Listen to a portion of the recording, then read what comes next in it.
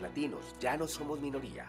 Síguenos en redes sociales como ABC Latino y disfruta de nuestra revista digital, multimedia y bilingüe en www.abclatino.net. Escríbenos a info.abclatino.net. Muy buenos días a todas y todos donde quieran que se encuentren. Desde ABC Latino, yo soy Enrique Roblunsky y conmigo aquí en nuestros estudios virtuales, Caro, ¿cómo estás? Muy bien, buenos días a todos, que tengan un excelente día, quédense con nosotros, tendremos excelentes invitados y un poquito de música también entre medio, así es que no se vayan. Así es. Y está ya aquí con nosotros uno de nuestros invitados del día de hoy, eh, Kelly, eh, que nos va a estar hablando sobre temas de inmigración. Muy buenos días, Kelly. ¿Qué tal? ¿Cómo estás? Buenos días, gracias por invitarme aquí. Muy bien. Aquí, como todas las semanas, ansiosos por escuchar lo último sobre inmigración. Y, eh, Caro, fíjate, estamos en la segunda semana ya de eh, el mes eh, de octubre y la segunda semana, todos ya saben que significa mundo nómada.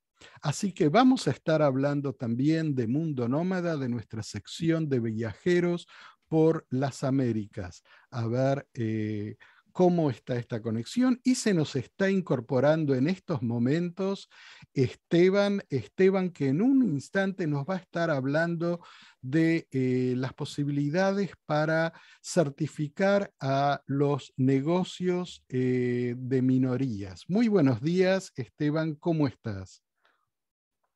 Muchas gracias el tráfico de Manhattan. Así es, eh, este es un programa sumamente internacional. Esteban, antes de que sigamos con el programa, te voy a pedir que por favor levantes el volumen, eh, si puedes subirlo o que te acerques al micrófono. Ok, ahí sí. Ahí está perfecto. ¿Cómo lo escuchas, Caro? Muy bien, mucho mejor. Gracias, Esteban. Bienvenido acá a ABC Latino. Y también te presentamos a Kelly, que está también acá conectados con nosotros. Hola, Kelly. Hola. Bueno, ¿y qué tal, Caro, si vamos directamente a la editorial del día de hoy? Sí, ahora sí, me encanta la idea. Nos vamos derecho a la editorial, vamos a hacer un poco de cambio hoy, así es que Rob, estamos acá eh, todos pendientes para escuchar tus hermosas palabras. Eh, la editorial del día de hoy es muy simple. Es una palabra, tres letras, repetida incansablemente. Bla bla, bla, bla. Esa es la editorial del día de hoy. Y no son mis palabras, eh, son las palabras de eh, Greta Thunberg. Para aquellos que aún no la conocen, es esta joven, eh, algunos dirán aún niña, joven, que hace años ya viene denunciando primero en su país, en natal, Suecia, luego en todo el mundo, denunciando la indiferencia de la humanidad frente a las catástrofes que se vienen que vienen ocurriendo en todo el mundo de acuerdo al cambio climático.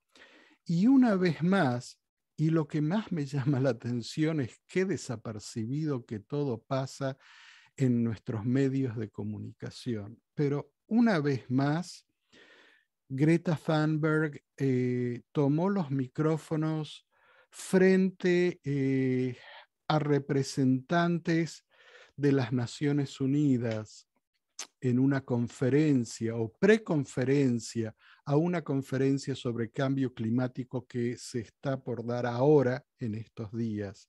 Y ella habló en la preconferencia hace unos 10 días atrás. Muy pocos se deben haber enterado de eso. Pero denunció, denunció con una dura acusación a los líderes mundiales por el cambio climático. 30 años de bla bla sobre el clima por parte de los líderes mundiales. Así comenzó su presentación frente a los representantes de las Naciones Unidas reunidos en Milán para esta conferencia sobre el cambio climático. Y siguió diciendo, los acusó a los líderes mundiales de haber ahogado las esperanzas de los jóvenes con sus huecas promesas y dijo, no hay un planeta B, no hay planeta bla, bla, bla, bla, bla, bla, bla, bla.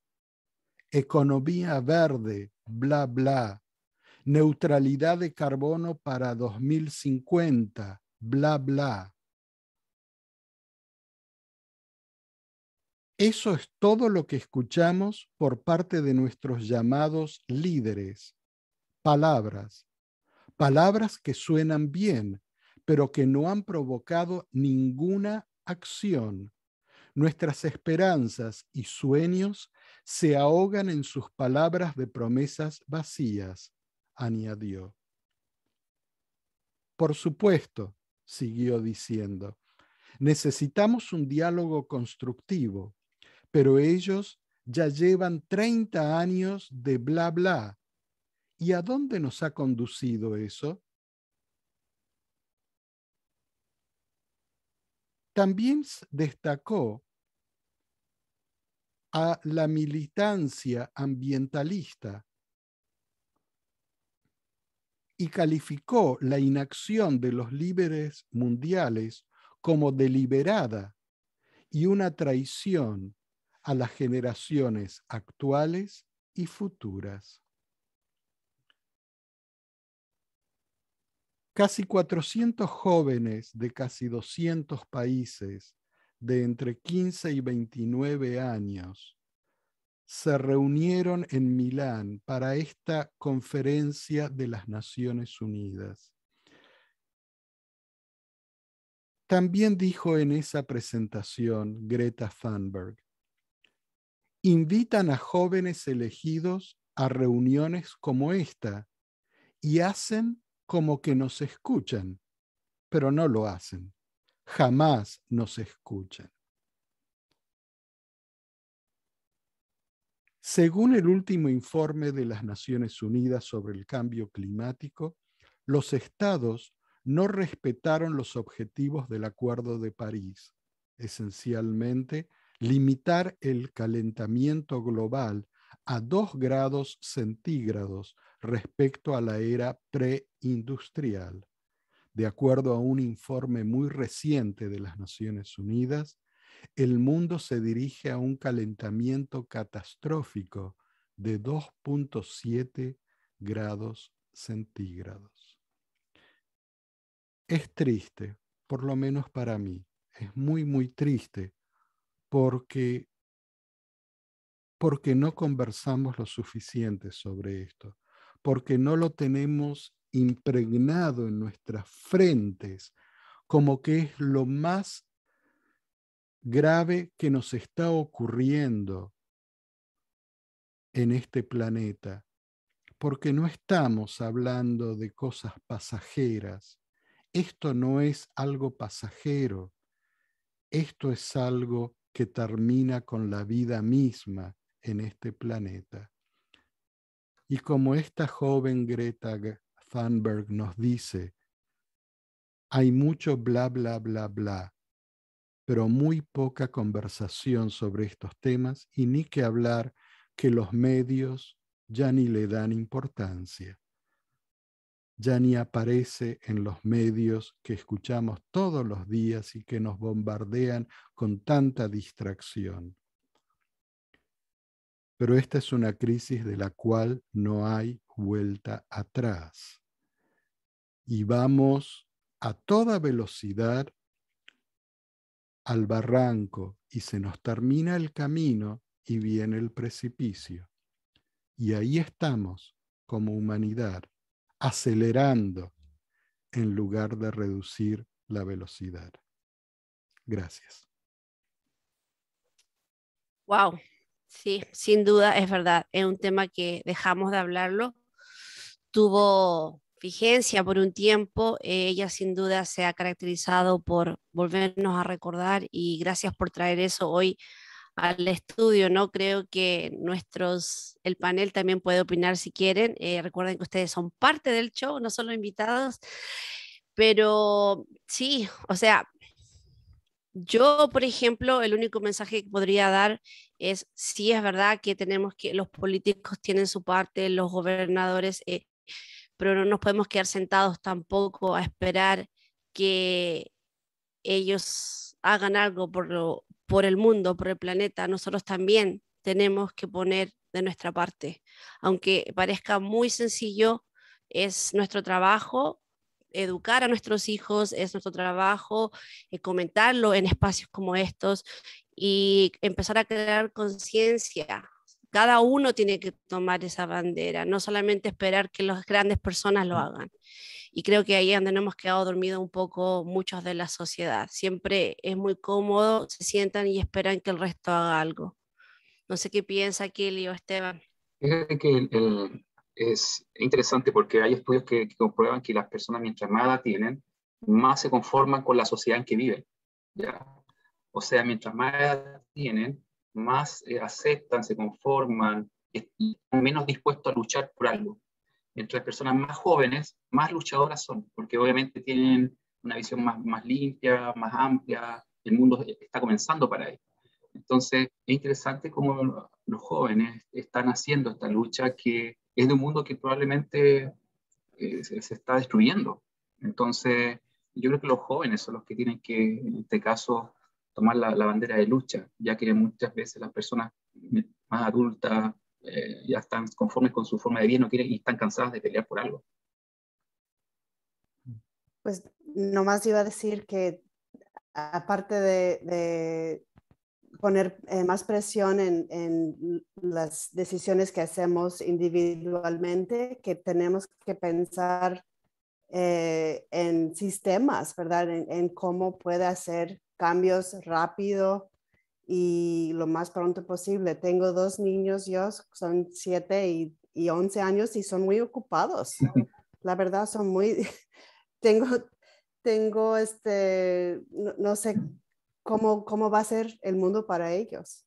Claro, es que esa es la, es la, es la, es la filosofía actual. Pues, hay un filósofo que me gusta mucho, que es coreano, pero estudió en Alemania, Jung Shun Han, no sé si lo han leído. Jung Shun Han, siempre me cuesta decirlo. Y él habla de la sociedad actual, que todo es visual, todo es muy rápido, la, la, gente ya no se detiene a pensar en algo porque nuestro mundo es todo en la imagen, en, en la vista, no en el interior. Entonces, obviamente, eso va en contra también de que podamos buscar una solución. En la Amazonía se está destruyendo completamente.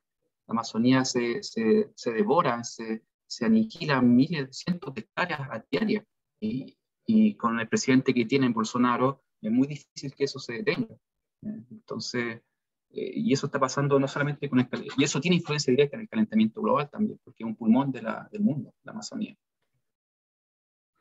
Así es, es un tema donde creo que la, responsabilidad mayor es de todos, jóvenes y no jóvenes, pero para reclamarle a los políticos que eh, tomen acción, porque es cierto, pero aunque todo el mundo reciclara, todo el mundo prestara atención, todo el mundo hiciera todo lo que cada uno de nosotros puede hacer individualmente o en nuestras familias, eso ya no alcanza, porque el problema principal no viene de nosotros como individuos, viene de las grandes industrias, viene de las grandes corporaciones, viene de los grandes eh, centros productivos. Son ellos realmente los que están destruyendo el planeta. Y los únicos que pueden tener cierto poder sobre ellos, y yo digo cierto poder, eh, son los políticos que nosotros elegimos. Eh, y ahí está la presión, no olvidarnos, no olvidarnos. Pero bueno, tenemos un programa por delante, Caro, y estamos aquí en ABC Latino, la revista al aire por 91.3 FM WBKR y también por las cinco frecuencias de Robin Hood Radio, la radio pública aquí de esta región. Y vamos ahora con el segmento de todas las semanas, que sé que muchos de los que nos están escuchando eh, quieren escuchar. Inmigración, noticias sobre inmigración. Y para eso está con nosotros Kelly Agnes Barajas. Ella es directora del programa de refugiados de Caridades Católicas. ¿Cómo estás, Kelly? Muy bien, gracias. Gracias por invitarme aquí. ¿Y eh, de qué nos vas a hablar el día de hoy? Em, voy a explicar un poco sobre el programa de menores centroamericanos. dicen en inglés programa CAM, C-A-M, y es un programa en la cual eh, los niños, hijos, hijas eh, em, y otros miembros de, la familia que, que, están todavía en El Salvador, Honduras o Guatemala y están enfrentando em, persecución o violencia, están en peligro. Y por eso e, es, un programa que, empezó sobre una, como para hacer un, forma de, no puede resolver todo eh, el programa, el problema de niños llegando a la frontera, pero es, parte de, la solución.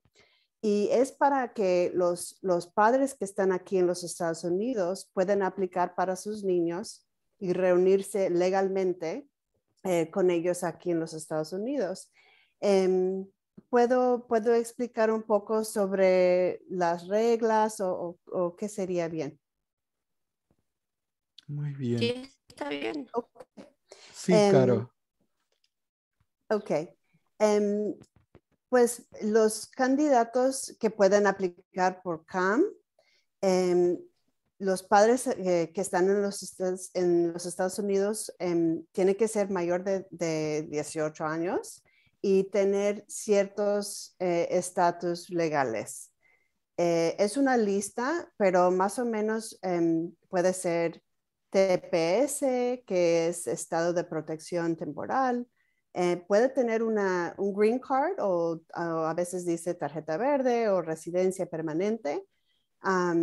pero si tiene residencia permanente, también aparte de este programa, hay otras opciones. okay? Pero hay, en, en, algunos estatus que voy a incluir, esa es la única forma en cual el padre puede aplicar por sus niños. Entonces, eso es muy importante porque es una oportunidad que no, no deben faltar. Okay. Eh, También, Kelly, Kelly, discúlpame, antes que sigas explicándonos un poco más de esto, eh, como para que quede claro, eh, o a mí no me quedó muy claro, este programa es para que los padres puedan peticionar por sus hijos, ¿correcto? Que este programa también se aplica a los niños que han sido separados de sus padres en la frontera? Pues eh, una de las em, condiciones que tiene que ser em, eh, em, para, para calificar tiene que ser que los niños todavía están en su país que no han salido. Entonces, si ya, ya están aquí o si ya están viajado y están en México, por ejemplo, este programa no, no puede, este, no, este, este no sería. Pero es, yo hablo con padres a veces y, por ejemplo, tienen, sus niños son chiquitos y no, ellos no quieren que viajen, em, tienen 11 años, tienen 10 años, tienen mucho miedo porque es un riesgo muy grave viajar como, um, un, you know, unaccompanied minor, como niño que no, no, no sea acompañado y que este programa puede tal vez ser más seguro para ellos y puede em, resultar en que tiene una visa permanente em, como refugiado. Los refugiados en los Estados Unidos pueden em, aplicar por su residencia eh, después de un año en los Estados Unidos y en total cinco años ya pueden naturalizarse. Entonces es una este, chance de llegar aquí y, tener todo su estatus eh, legal y eventualmente los niños a veces pueden aplicar por sus padres. Entonces es, es para toda la familia este, algo que, que puede ser más estable. tú, tú dices que los niños pueden aplicar por sus padres, lo que implicaría que el niño llega primero y luego él peticiona para que los padres vengan a este país. ¿Quién peticiona entonces por el niño? Eh, por ejemplo, si, si el papá o la mamá está aquí y tiene TPS o parol humanitario, DACA, eh, una, una, solicitud de asilo pendiente o una solicitud de visa U y están con sus, sus niños están en su país y el papá o la mamá está aquí, eh, la mamá aplica por sus niños, el niño llega y si llega como refugiado, eventualmente, es un proceso largo, como sabe, con, con todo, con inmigración, nada es rápido, pero eventualmente pueden tal vez aplicar por sus, sus padres en el futuro. ¿Y los parientes de los niños también pueden aplicar o tiene que ser la madre solamente la que puede aplicar o el padre? Puede ser eh, mamá, papá biológicos o también, quiero decirlo correcto en español, padrastros, ¿cómo se llama? Padrastros o um, guardián legales. Este es nuevo. Ah, este programa em, lo teníamos antes y, bajo el, presidente Trump cerró el programa en 2017, muy este, de un día a otro. Y eso fue, fue muy, muy abrupto. Y ahora, em, hace un mes, empezó el programa de nuevo y están incluyendo más eh, eh, estatus legales y también incluyó eh, los, padres, los padres que son guardianes legales. Claro. Y este es nuevo. Muy interesante. Recordemos a los que nos están escuchando que eh, Caridades Católicas eh, tiene una línea abierta de nuevos americanos. El número de teléfono es 1-800-566-7636 y ahí pueden hablar con eh, abogados que van a hablar en distintos idiomas o especialistas donde van a poder hablar en su idioma en total eh, privacidad eh, sobre estos y muchos otros temas de inmigración para tener respuestas a las preguntas que eh, puedan tener. Kelly, ¿hay algún número más directo donde la gente pueda comunicarse con tu oficina de refugiados? Em, pues hay, este número está muy bien, el número 800-566-7636. Eh, em, con este número, si tiene una pregunta o también si quiere dar su información para la lista de, digo lista de espera, pero no está muy larga la lista de espera todavía pueden dar su información, su número de teléfono, su nombre y yo personalmente estoy empezando estos casos ahorita y ya, vamos a empezar con, con, la aplicación. ¿Sería bien hablar un poco sobre el proceso o, o qué sería más? Eh, eh sí, puedes hablar sobre el proceso, pero bien cortito, porque se nos escapa el tiempo acá. Ok, no más em, eh, presentar, solamente es muy importante saber que solamente los, las agencias que hacen eh, servicios para refugiados pueden hacer esta aplicación. Entonces, no puede ser cualquier abogado o un notario, también tiene que evitar los, los scams, ¿verdad? Es muy importante que no dan dinero a nadie por este programa. Es totalmente ah, gratis. Em, incluso esta vez hay, una, prueba de ADN que tampoco no van a pagar nada los padres, como antes tenía que pagar, y, pero eh, en este rondo no, no van a, pagar.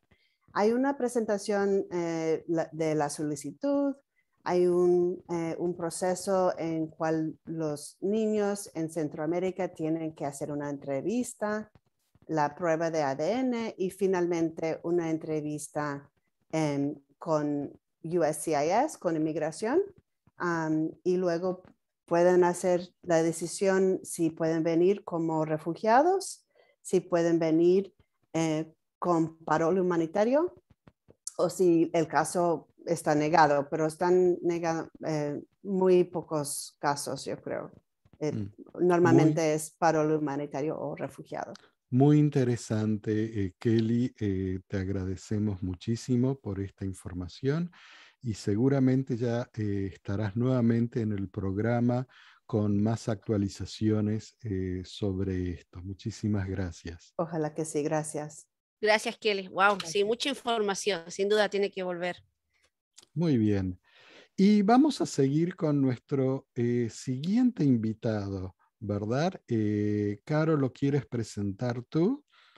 No, está bien, está bien. No, Esteban es chileno, como se pueden dar cuenta, así es que es ah, compatriota. Sí, es tocayo. compatriotas. Por fin, por fin acá hay un refuerzo, así es que. Muy bien.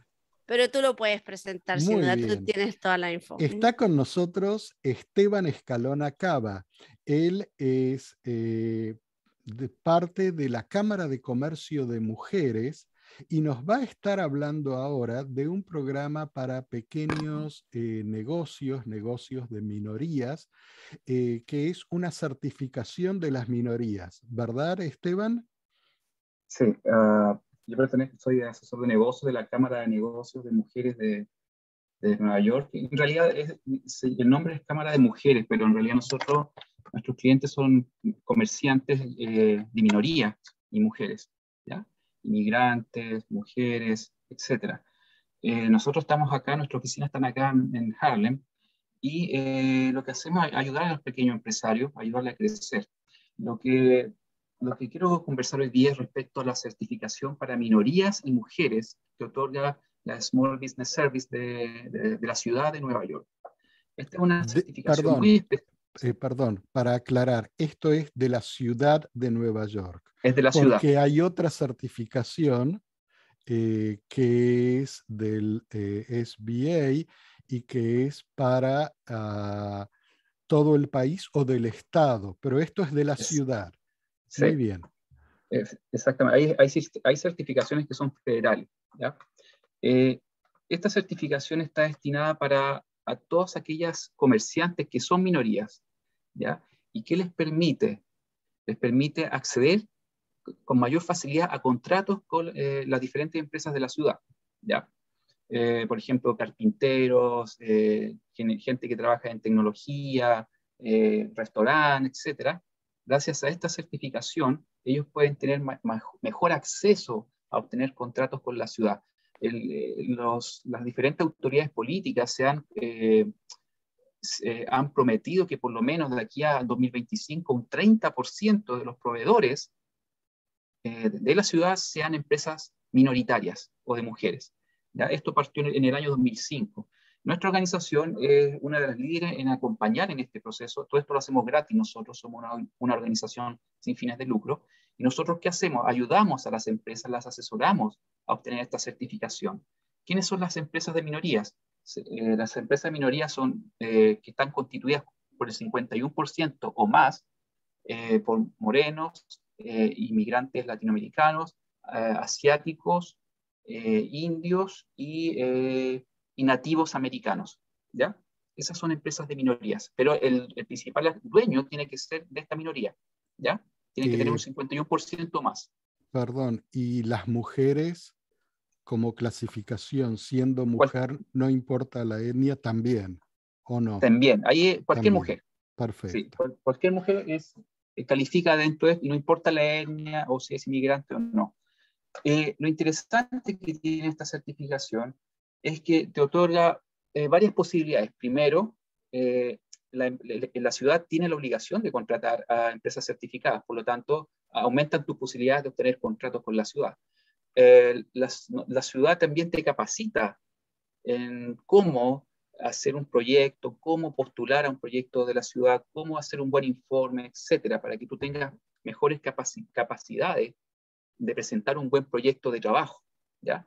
Pero no solo eso, sino que también al estar certificado, tú entras a un directorio en donde no solamente tiene acceso la, la, ciudad, sino que también tiene acceso a empresas privadas. Y ojo con eso, porque esto es como una vitrina, ya que permite que, que empresas privadas que quieren contratar a proveedores los obtengan desde, desde este directorio. ¿Por qué? Porque prefieren contratar a empresas certificadas porque le da más seguridad, ¿cierto? Y también porque muchas veces muchas empresas por sus políticas internas tienen la obligación de contratar a empresas de minorías. Entonces, esta es una especie de gran vitrina en donde las empresas que se certifican pueden obtener mayores oportunidades de negocio. ¿Ya? Eh, lo importante acá es que el, 51% o más de participación de la, de la, sociedad sea de una empresa que tenga esta categoría de minoría. ¿okay? Hay empresas que pueden ser de New Jersey, también pueden postular, ya que si logran probar que el principal sustento de negocio está en Nueva York, eh, también pueden postular. ¿Ya?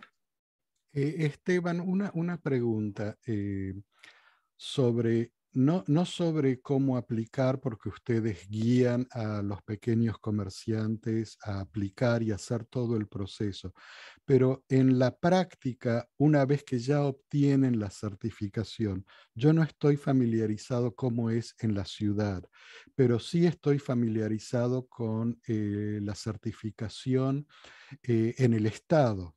Eh, de Nueva York.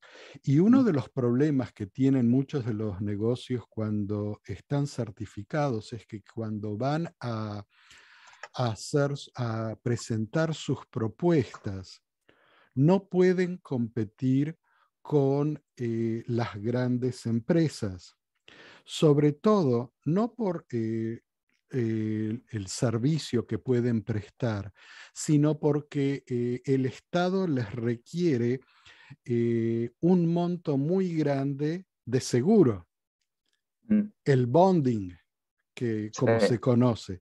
Entonces, la mayoría de los comerciantes certificados les resulta muy caro sacar ese seguro eh, y entonces no pueden aplicar o tienen que hacerlo a través de empresas mucho más grandes que sí tienen ya eh, el bonding eh, dentro de, su organización. ¿Cómo es en la ciudad eso? Eso el, desconozco exactamente cómo sucede. sé que la, la, ciudad tiene programas de acompañamiento, ¿ya? de, de, asesorías, Sí, tengo entendido que también muchas empresas se asocian con unas más grandes como subcontratistas para poder acceder a estos contratos. Ya hay, hay, hay financiamientos, pero ahí tendría que eh, ver en más detalle que entrega la ciudad.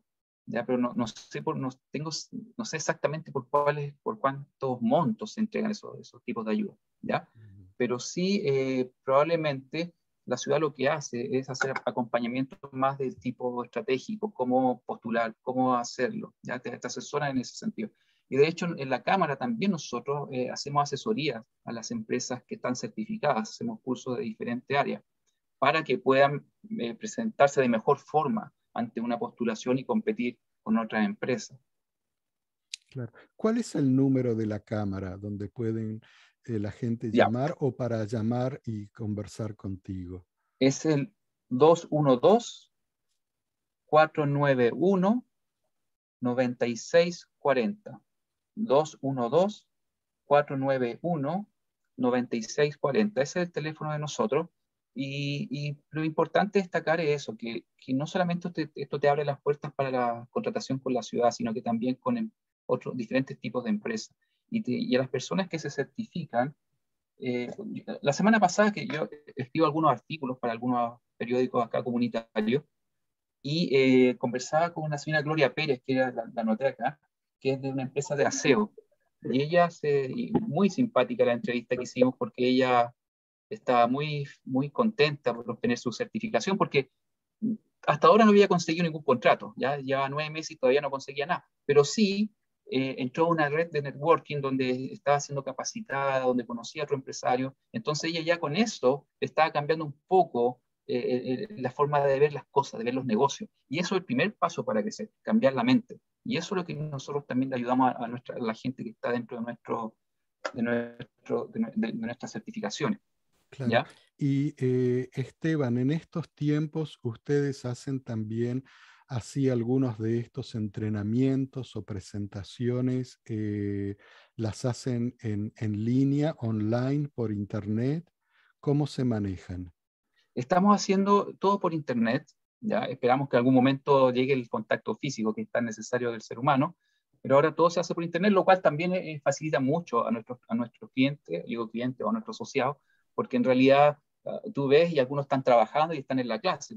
Muchos de nuestros clientes son restaurantes, eh, gente que está trabajando en construcción, entonces se salen un minuto para poder y se conectan con el teléfono y, y tratan de alguna forma de poder conectarse para aprender, porque uno de los principales problemas es la educación en, el comerciante, ¿ya? porque claro, tiene mucho empeño, mucha fuerza y, se pasan todo, y diablos que trabajan mucho, pero también eh, hay que educarlos financieramente, en la Cámara de Comercio tenemos muchos cursos de capacitación y muy buenos, con muy buenos profesionales. De hecho, la próxima semana, el día miércoles, no sé si también lo pueden decir, vamos a tener un curso de capacitación sobre, con Google, tenemos un convenio con Google y tenemos un curso de capacitación sobre herramientas tecnológicas para marketing, que es sumamente importante en estos tiempos manejar herramientas básicas para cómo posesionar tu empresa en la red, cosas muy... muy, muy interesante. ¿Y cuál es eh, la página de internet donde la gente, porque supongo que gente de otros distritos o de esta región o otras partes también pueden participar de estas presentaciones, ¿verdad? Sí, por supuesto. todo el mundo está invitado. A nosotros lo que interesa es que más gente, y esto es en español, ¿ah? estos talleres son en español lo que estoy diciendo. Eh, a, los, a nosotros lo que nos interesa es que más gente esté educándose financieramente para que pueda hacer crecer su negocio. Nuestra página es www.nywcc.org,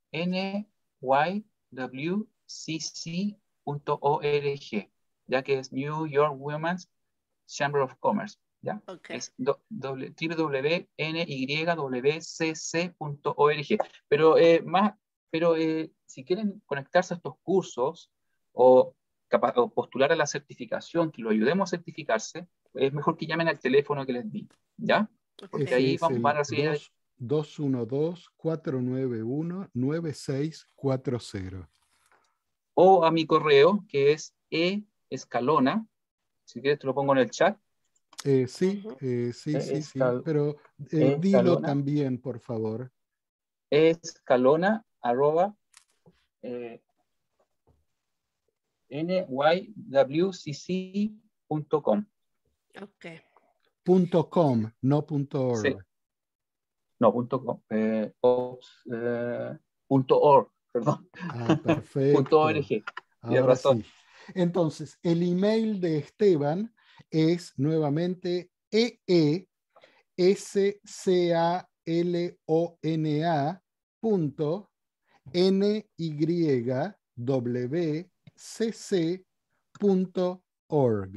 org. Ahí está, para que puedan eh, conversar con Esteban y enterarse de todos estos talleres. Muy, muy interesante. En realidad, eh, creo que eh, Caro y yo te vamos a estar hablando para ver cómo podemos colaborar también en algunos de estos programas y traerlos a, gente de, estas regiones, de todas partes. Sí, Caro, tú tienes algo para Esteban, me parece, ¿verdad? ¿Alguna pregunta? No, nada, bueno, primero daré las gracias, Esteban, me parece que es súper interesante. Me encanta la idea que todo esto sea por internet porque nos da acceso a nosotros, que no vamos a viajar a la ciudad para una de esas clases, pero sin duda creo que me voy a apuntar para la clase del miércoles. Sí, y, gracias por darnos la oportunidad.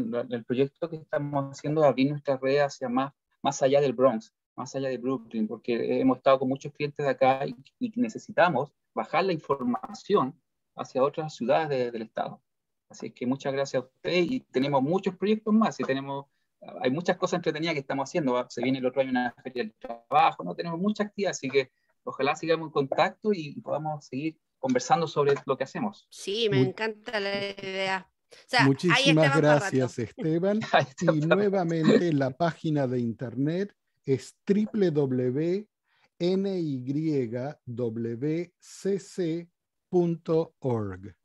Ahí van a poder estar y ya lo vamos a tener a Esteban nuevamente aquí en la revista al aire. Muchísimas gracias.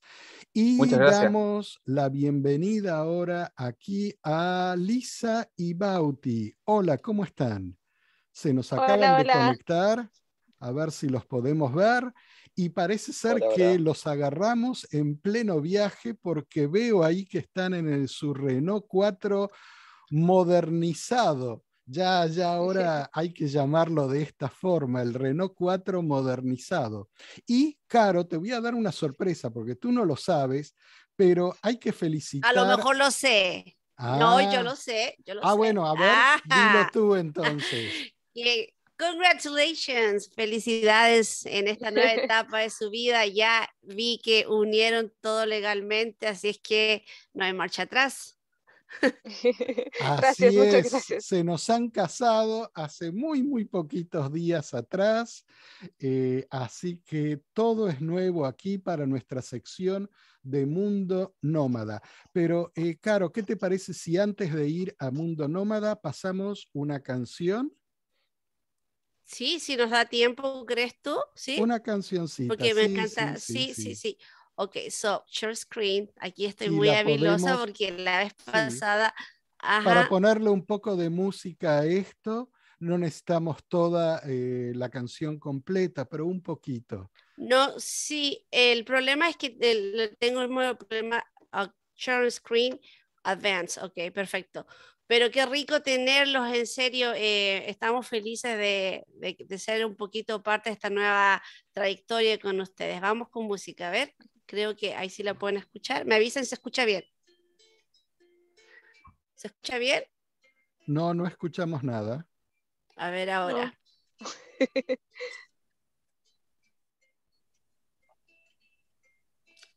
¿Y ahora? ¿Tampoco? Muy, muy bajito, muy bajito. ¿Estás compartiendo música? A ver si puedes compartir. A ver, otra vez. Ahora sí. Ahí bien. sí. Oh, pero bueno.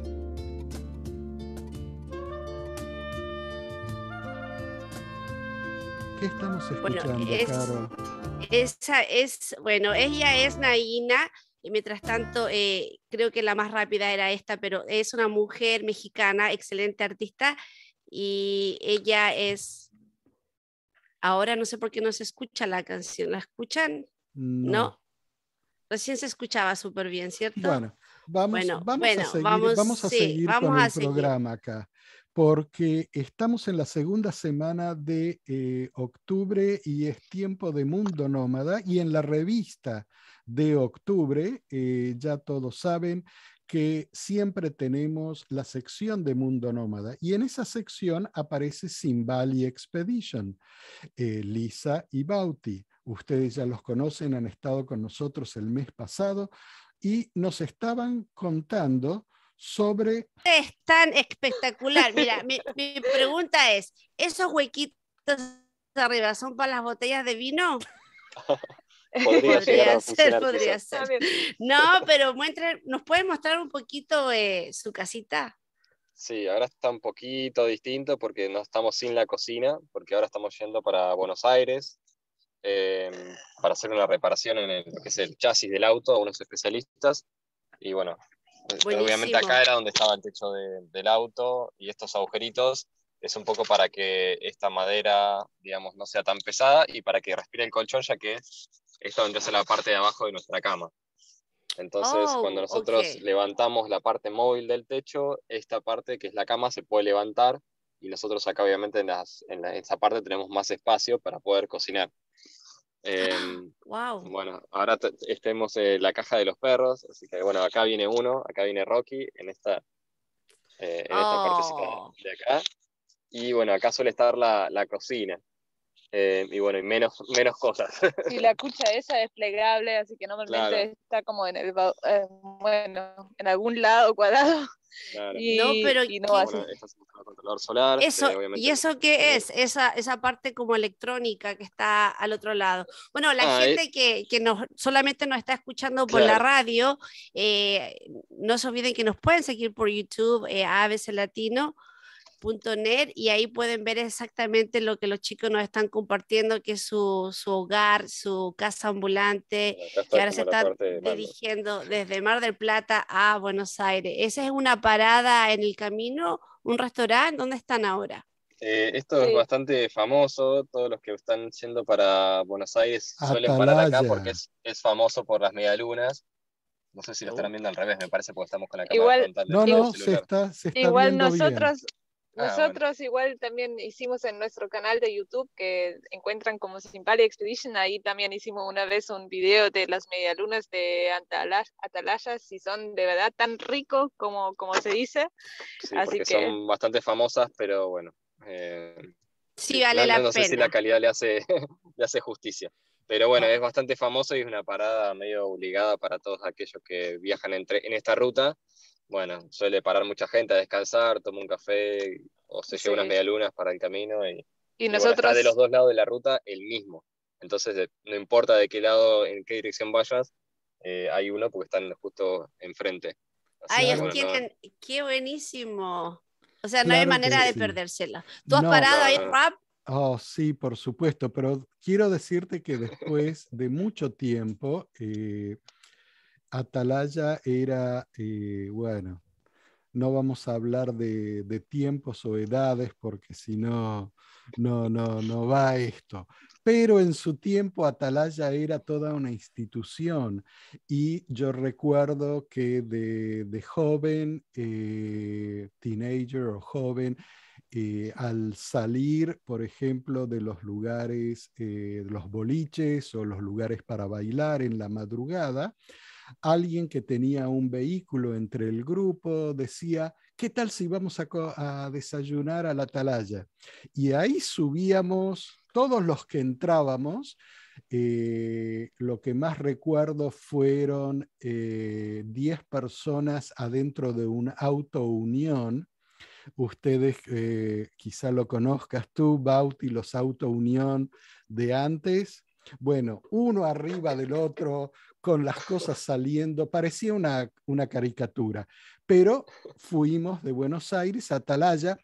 Fíjate cuántos kilómetros son, más o Y menos. esto está en el kilómetro 113 y medio eh, de la ruta 2, así que a- Claro. a, Buenos Aires habrá un poquitito más. Exacto, quiere decir en, que es, tiempo, ¿cuánto es, es eso una hora de viaje. Una hora de viaje. y la gente iba normal, sí. especialmente para desayunar ahí eh, café con leche y las famosas medialunas.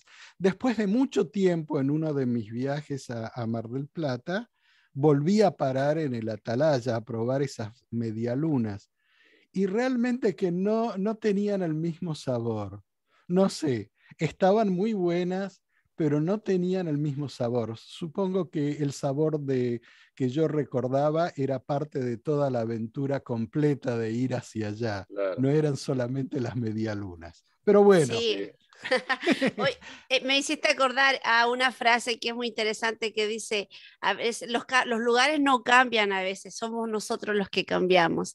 Entonces quizás eh, esa atalaya, esa media luna tenía otro significado en tu segunda parada, así es que hay que darle una tercera oportunidad, creo. Tienes que volver a ir. Y Lisa Bauti, cuéntenos, porque en la revista de octubre sale la eh, segunda parte del viaje que ustedes hicieron del rally solidario al pueblo eh, más alto en la Argentina, a más de 4.000 metros de altura en los Andes, el pueblo quizás también más apartado. Cuéntenos un poco la experiencia cuando llegaron a ese lugar por primera vez. Eh, ¿Qué ocurrió? ¿Qué vieron? ¿Cómo fue? Eh, bueno, entrando a ese pueblo, de hecho, ese era un pueblo que normalmente si no hubiéramos conocido a nadie, creo que hubiéramos dado una vuelta y hubiéramos seguido.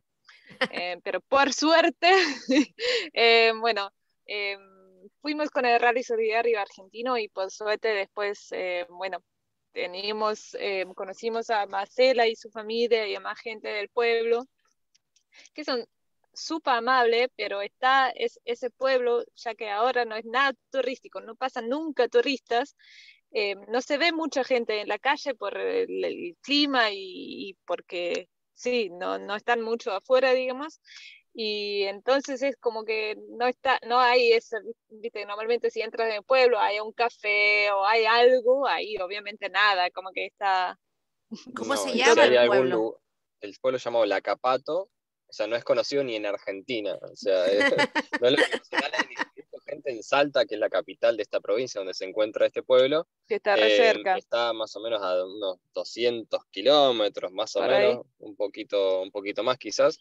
Em, y, no lo conocen en la propia capital, así que eh, el desconocimiento es muy, muy grande. Y, bueno, sí, depende un poco de las minas, hay algunas mineras, con lo cual, bueno, los mm. intereses ahí son, eh, son otros y que no tenga, no sea famoso, también un poco que parecería a propósito. Entonces, bueno, el pueblo no, no cuenta con, con servicios para, para, el turista. Em, no, no tiene inversión de ningún tipo. De hecho, la misma gente de ahí tiene muchísimas necesidades. Entonces, uno, si, si pasa, cree que por ahí es un pueblo medio fantasma o abandonado, o, medio extraño, porque no hay carteles según vos llegás, sino es que hay una carnicería. La gente ahí sabe dónde están esas cosas, pero como solamente va la gente de ahí, ya sabe, se conocen entre ellos. Tengo y, una consulta. y bueno, no, no hay ni carteles en los negocios. Tengo una consulta bien cortita, eh, por curiosidad. ¿El camino hacia ese pueblo es bueno? Eh, ripio y mucha, mucho serrucho, mucho calamita, como dicen. Claro, cuando se oh, hacen como lomitas muy cortitas en, los caminos de tierra por los que es muy mismos vehículos que van pasando. Sí, sí, es mucha altura, es difícil. El auto.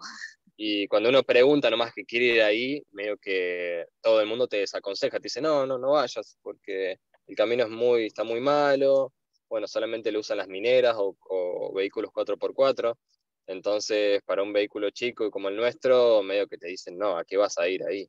Entonces, bueno, nosotros porque íbamos con otras intenciones, a con el rally y acompañar y a, tener esta experiencia, pero si no, lo más probable es que si alguien anda dando vueltas por esta provincia que tiene muchas cosas para ver, se vaya sin conocer este pueblo porque ¿por qué no? Porque medio que te lo desalienta todo el camino, si preguntas, eh, tampoco te recomiendan ir, si preguntas por ahí ni mismo la gente ahí lo conoce, entonces es bastante difícil. Y también una de las cosas que, viste, como que una aplicación que es súper conocido entre la gente que, viaja, que es e-Overlander o iOverlander, es como que funciona casi en todo el mundo y hay como, funciona así que hay puntos Em, que te recomiendan otros viajeros, por ejemplo, ahí puedes comprar carne o ahí hay una carnicería, ahí hay una para lavar ropa, ahí se consigue agua potable, esas cosas. donde acampar. Donde acampar y casi todo lo que viajan usan esa aplicación y porque se encuentra súper rápido la información necesaria. Y una de las cosas que allá en ese pueblo, en esa zona, no hay ningún, había ningún punto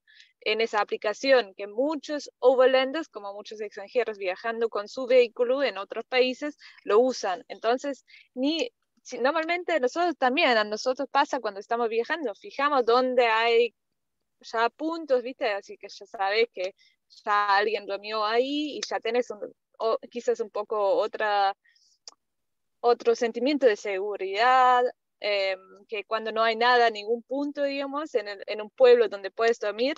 Y de hecho, ahí después nosotros pusimos ese punto porque están súper abiertas y ese pueblo, por lo menos una familia y algunos amigos de ellos, están recontra abiertas para el turismo y se desearían un poquito más turismo.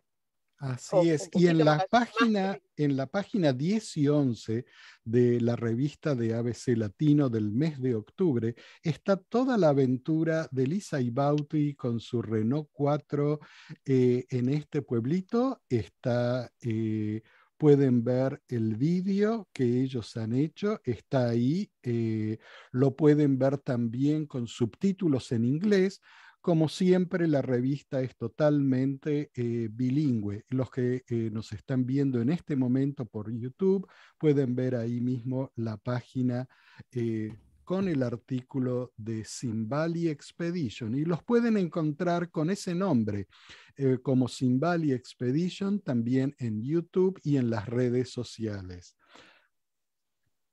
Qué lindo, me encanta. Gracias chicos, la verdad, por esa parada, hablando un poquito de ese pueblo fantasma.